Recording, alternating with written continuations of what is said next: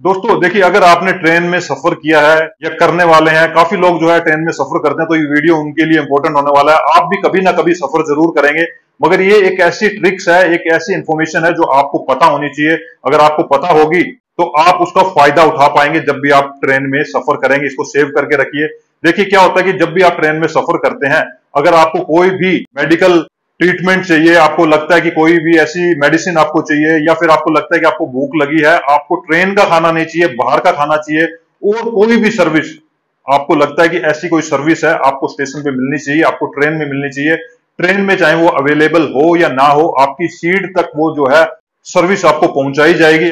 जो सर्विस है, गवर्नमेंट ने स्टार्ट किया है 99 परसेंट लोगों को वो पता नहीं है। तो आज के वीडियो में आपको मैं वही बताने वाला हूँ। वीडियो को शेयर करते रहिए अपने रिलेटिव्स में। ताकि ये इन्फॉर्मेशन उन तक पहुँच सके।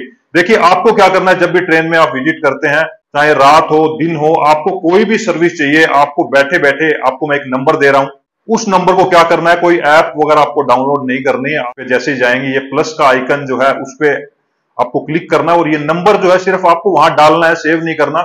जैसे ये पूरा नंबर सेव कर देंगे ऑटोमेटिक इसके नीचे आपको लिंक मिल जाएगा, उस पर क्लिक करना है। जैसे ही क्लिक करें आप उनके व्हाट्सएप चैट में चले जाएँगे और आपको सिर्फ़ वहाँ पे सिर्फ़ हाई का मैसेज करना है। हाई का जैसे मैसेज कर देंगे, पूरी लिस्ट नीचे आ जाएगी, आप देख पा रहे होंगे।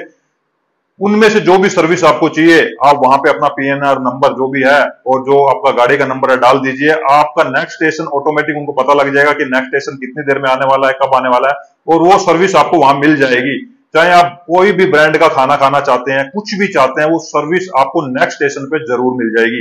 तो ये काफ़ी इंपॉर्टेंट इंफॉर्मेशन है, इसको सेव करके रखिए और ऐसी इंफॉर्मेशन आपको मिलती रहे, उसके लिए चैनल को फॉलो ज़रूर करिए।